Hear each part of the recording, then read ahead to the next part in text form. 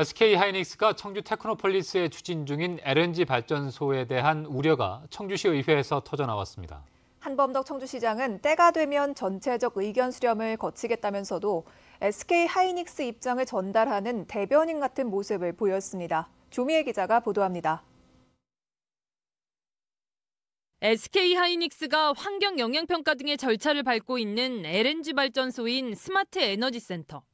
청주시 의회에서 청주 도심에 꼭 지어야겠냐는 질문이 한범덕 청주시장에게 던져졌습니다.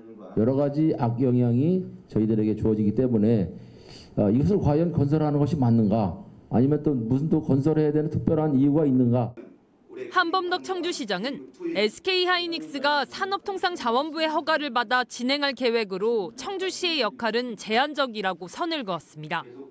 다음 달이면 오창 신중부 발전소 가동으로 도내 대용량 전력 공급이 이루어지는데 그래도 전력 공급이 문제냐는 질문에도 SK 하이닉스의 입장을 계속해서 전달했습니다. 제가 뭐 그 하이닉스를 절대적으로 신임하는 건 아니지만 자기들은 24시간 가동할 수밖에 없다. 일정한 전압을 넣기 위해서 그렇게 얘기를 하고 있기 때문에 미세먼지, 일산화탄소 등을 내뿜는 LNG 발전소에 대한 시민들의 건강과 환경오염에 대한 우려도 함께 판단하겠다면서도 언제, 어떻게는 빠졌습니다.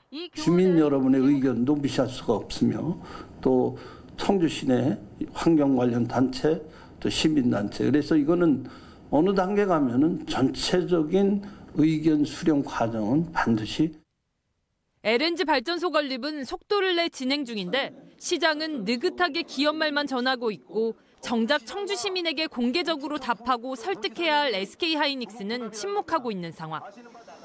시의회 앞에서 피켓 시위에 나선 주민들은 다음 달 연합 집회를 예고했습니다. MBC 뉴스 조미입니다.